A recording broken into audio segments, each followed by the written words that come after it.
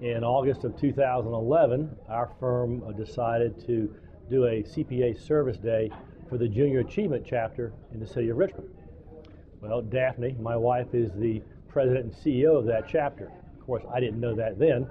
We volunteered to go down and help paint their new uh, business park, their finance park, that morning. And so we spent the day painting. I think I got more paint on, on me than I did on the walls, but uh, over uh, some brush strokes and uh, some pizzas at lunch is how I, how I met her. And uh, after that, just uh, I guess things sort of took its own course. I always give him a hard time because he's the last one here, but he was the last one to leave too.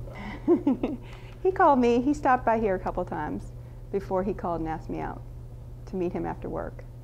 So after we met after work, then it, it went along pretty quickly after that.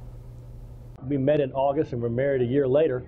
So, but it was all all all right for both of us. I mean, I, I'm very very fortunate that, to have her. We both have had a we've had a good a good run.